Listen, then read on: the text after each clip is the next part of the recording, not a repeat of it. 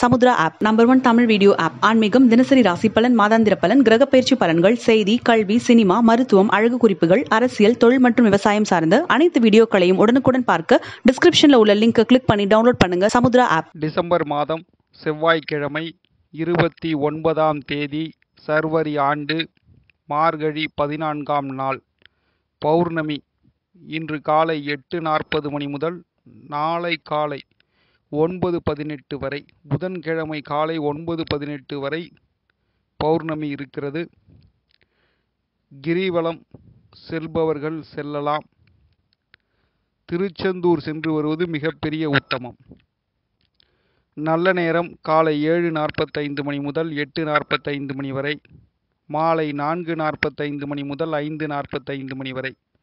ராகு காலம் மூன்று மணி முதல் நான்கு முப்பது மணி வரை. குளிகை பன்னிரண்டு மணி முதல் ஒன்று முப்பது மணி வரை. யமகண்டம் ஒன்பது மணி முதல் பத்து முப்பது மணி வரை. விருச்சிக ராசிக்கு சந்திராஷ்டமம். கிரக நிலைகளின் நிலவரம். மேஷத்தில் செவ்வாய் ரிஷபத்தில் ராகு. மிதுனத்தில் சந்திரன். விருச்சிகத்தில் கேது சுக்ரன் தனுசில் புதன் சூரியன். மகரத்தில் சனி குரு. இன்றைய ராசி பலன்களை காணலாம்.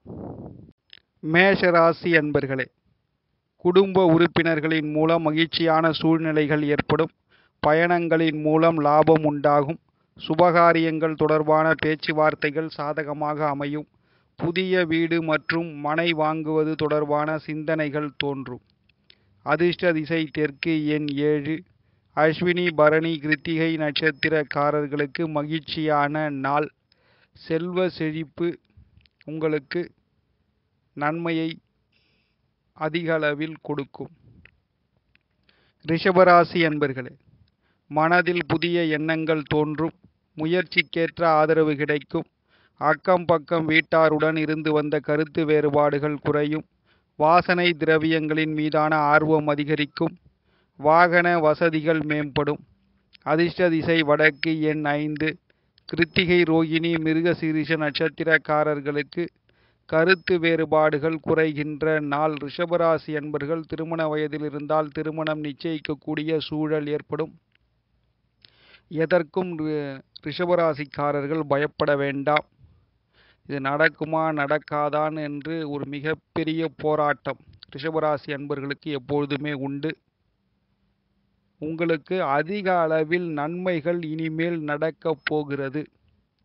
வருகின்ற ஆண்டு மிகப்பெரிய உன்னதமான ஆண்டாக ரிஷபராசி அன்பர்களுக்கு அமையும் என்பதை எந்தவித ஐயப்பாடும் இல்லை. பைரவர் வழிபாடு மேற்கொள்ளுங்கள். நன்மைகள் அதிக அளவில் நடக்கும். மிதுன ராசி என்பர்களே திட்டமிட்ட காரியங்களை எண்ணிய விதத்தில் செய்து முடிப்பீர்கள். புதிய நபர்களின் அறிமுகத்தின் மூலம் மாற்றங்கள் உண்டாகும். நிலுவையில் இருந்து வந்த தனவரவுகள் கிடைக்கும். எதிர்பாராத பயணங்களின் மூலம் உடல் சோர்வு ஏற்பட்டு மறையும். அதிர்ஷ்ட திசை கிழக்கு எண் இரண்டு. மிருகசீரிஷம் திருவாதிரை புனர்பூச நட்சத்திரக்காரர்களுக்கு எண்ணங்கள் ஈடேறுகின்ற நாள். கடகராசி அன்பர்களே குடும்ப உறுப்பினர்களிடம் இருந்து வந்த கருத்து வேறுபாடுகள் நீங்கி ஒற்றுமை அதிகரிக்கும். மனதிற்கு பிடித்த பொருட்களை வாங்கி மகிழ்வீர்கள். மற்றவர்களுக்கு உதவும் போது சற்று சிந்தித்து செயல்படுவது அவசியம். வாக்குவாதங்களை தவிர்த்து நிதானத்துடன் இருப்பது நன்மை அளிக்கும். கடகராசி அன்பர்கள் விவசாயத்தில் ஈடுபடுபவர்கள் மிகப்பெரிய லாபத்தை சந்திப்பீர்கள். நன்மைகள் அதிக அளவில் நடக்கும். அதிர்ஷ்ட திசை மேற்கு எண் நான்கு. புனர்பூசம் பூசம் ஆயில்யம் நட்சத்திரக்காரர்களுக்கு ஒற்றுமை அதிகரிக்கும். சிம்மராசி அன்பர்களே பழைய நினைவுகளின் மூலம் மந்தத்தன்மையும் உடல் சோர்வும் ஏற்படும். வாழ்க்கை பற்றிய புதிய பரிணாமம் மற்றும் சிந்தனைகள் உண்டாகும். தொழில் தொடர்பான பயணங்களை மேற்கொள்வீர்கள். தற்பெருமை சிந்தனைகளை தவிர்த்து அனைவருடன் ஒற்றுமையுடன் இருப்பது நன்மை அளிக்கும். சிம்மராசி அன்பர்கள் திருமண வயதில் இருப்பவர்களுக்கு திருமணம் நிச்சயிக்கக்கூடிய நாள். கணவன் மனைவிக்குள் பிணக்குகள் ஏற்படும். அதாவது கணவன் கிட்ட மனைவி தோக்கணும் மனைவி கிட்ட கணவன் தோத்து போனால் வாழ்க்கை மிகப்பெரிய பிரகாசமாக இருக்கும். இதை நீங்கள் புரிந்து கொள்ள வேண்டும். ஏன்னா சிம்மராசி என்பர்கள் நீயா நானா நீ பெரியவனா நான் பெரியவனான் போட்டி போடக்கூடியவர்கள் அந்த போட்டிகள் எல்லாம் தவிர்த்தாலே நீங்கள் உன்னதமான வாழ்க்கையை நீங்கள் வாழலாம். வாழ்க்கையில் ஜெயிக்கலாம் என்பதை நீங்கள் புரிந்து கொள்ள வேண்டும். சிம்மராசி அன்பர்கள் யா அதாவது எடுப்பார் கைப்புள்ள மாதிரி யார் சொன்னாலும் கேட்பாங்க. சிந்தித்து செயல்படுங்கள். அதிர்ஷ்ட திசை தெற்கு எண் ஒன்று. மகம் பூரம் உத்திரம் நட்சத்திரக்காரர்களுக்கு சிந்தனைகள் உண்டாகும். கன்னியாராசி என்பர்களே உடன் இருப்பவர்களின் விருப்பங்களை அறிந்து நிறைவேற்றி வைப்பீர்கள். கணவன் மனைவிக்கிடையே நெருக்கம் அதிகரிக்கும். குடும்பத்தில் இருந்து வந்த பொறுப்புகள் குறையும்.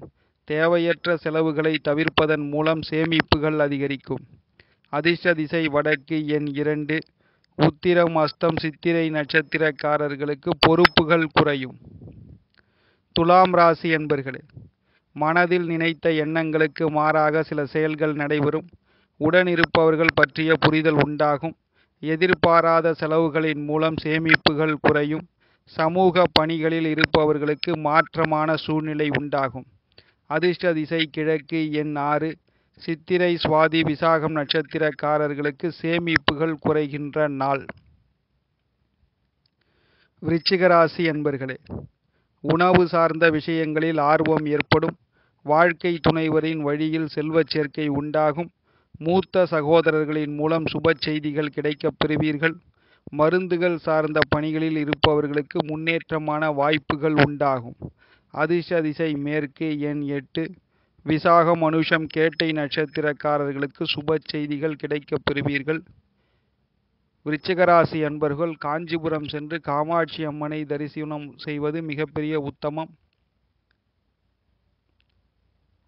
தனுர் ராசி அன்பர்களே எதிர்பாராத வழியில் பொருட்சேர்க்கை உண்டாகும். வெளியூர் தொடர்பான பயணங்களை மேற்கொள்வதற்கான வாய்ப்புகள் கிடைக்கும். பெருந்தன்மையான செயல்பாடுகளின் மூலம் பாராட்டுகளை பெறுவீர்கள். மனதில் ஒருவிதமான கவலைகள் ஏற்பட்டு மறையும். அதிர்ஷ்ட திசை வடக்கு எண் ஏழு. மூலம் பூராடம் உத்திராடம் நட்சத்திரக்காரர்களுக்கு பொருட்சேர்க்கை உண்டாகும். தனுசு ராசி அன்பர்களுக்கு இனிமேல் தொட்டதெல்லாம் பொன்னாகும். ரியல் எஸ்டேட் சம்பந்தமான விஷயங்களில் மிகப்பெரிய லாபத்தை நீங்கள் அடையப் போகிறீர்கள். ஆகையால் ஸ்ரீவில்லிபுத்தூர் சென்று ஆண்டாளை தரிசனம் செய்வதும் அங்கிருக்கக்கூடிய திருவண்ணாமலையில் அங்கே ஒரு திருவண்ணாமலை இருக்கிறது. அந்த திருவண்ணாமலையில் பெருமாளை தரிசனம் செய்து வருவது மிகப்பெரிய உத்தமமாக அமையும். மகர ராசி என்பர்களே கணவன் மனைவிக்கிடையே கருத்து வேறுபாடுகள் ஏற்பட்டாலும் ஒற்றுமை குறையாது. உடல் சோர்வுடன் காணப்படுவீர்கள். செயல்பாடுகளில் இருந்து வந்த எதிர்ப்புகளை அறிந்து முறியடிப்பீர்கள். நீண்ட நாள் நிலுவையில் இருந்து வந்த தனவரவுகள் கிடைப்பதற்கான உதவிகள் சாதகமாகும். அதிர்ஷ்ட திசை மேற்கு எண் மூன்று. உத்திராடம் திருவோணம் அவிட்டம் நட்சத்திரக்காரர்களுக்கு ஒற்றுமை மேலோங்கும். கும்பராசி என்பர்களே சுபகாரியங்கள் தொடர்பான பயணங்களை மேற்கொள்வதற்காக தூரதேச பயணங்களை மேற்கொள்வீர்கள். சூழ்நிலைகளுக்கு ஏற்றவாறு நடந்து கொள்ளுங்கள். நெருங்கிய உறவினர்களிடம் சிறு சிறு கருத்து வேறுபாடுகள் ஏற்பட்டு மறையும். அரசியல் பணியில் இருப்பவர்களுக்கு ஆதரவான சூழ்நிலைகள் உண்டாகும். தவறிய சில பொருட்களை பற்றிய விவரங்களை தெரிந்து கொள்வதற்கான வாய்ப்புகள் ஏற்படும். அதிர்ஷ்ட திசை கிழக்கு எண் ஒன்பது. அவிட்டம் சதயம் பூரட்டாதி நட்சத்திரக்காரர்களுக்கு ஆதரவான நாள். மீனராசி என்பர்களே கால்நடைகளின் மீதான ஆர்வம் அதிகரிக்கும். எதிர்பார்த்த சில காரியங்கள் நடைபெறாமல் காலதாமதத்தை ஏற்படுத்தும். உபரி வருமானம் தொடர்பான முயற்சிகள் மேலோங்கும். அறிவியல் சார்ந்த செயல்பாடுகளில் புதிய கண்ணோட்டமும் எண்ணங்களும் உண்டாகும். மீனராசி என்பர்கள் மிகப்பெரிய ஜெயிக்கக்கூடிய நபர்கள் நீங்கள். ஆதலால் என்னென்ன தோன்றுகிறதோ பிஸ்னஸ்லாம் உங்களுக்கு ஈஸியாக வரும். அதனால் ஐந்து ஆறு பிஸ்னஸ் கூட நீங்கள் செய்யலாம். தவறே கிடையாது. மீனராசி அன்பர்களுக்கு தொட்டதெல்லாம் பொன்னாகும். பயப்பட வேண்டிய அவசியமில்லை ஒன்று சற்று இறக்கமாக இருந்தால் இன்னொரு பிஸ்னஸ் உங்களுக்கு ஏற்றமாக இருக்கும். மீனராசி அன்பர்களுக்கு மட்டும்தான் இது சாத்தியமாகும். அதிர்ஷ்ட திசை தெற்கு எண் ஐந்து. புரட்டாதி உத்திரட்டாதி ரேவதி நட்சத்திரக்காரர்களுக்கு முயற்சிகள் மேலோங்கும். வாழ்க வளமுடன். வணக்கம். சரியான நபரை உங்கள் வாழ்க்கை துணையாக தேர்ந்தெடுக்க தமிழகத்தின் நம்பர் ஒன் சேவை மையத்தை அணுகவும். ஃப்ரீ ரெஜிஸ்ட்ரேஷன் உங்க விருப்பப்படி லைஃப் பார்ட்னர் கிடைக்கணும்னா கீழ இருக்கிற லிங்க் கிளிக் பண்ணுங்க. உடனடியா ஃப்ரீயா ரெஜிஸ்டர் பண்ணுங்க.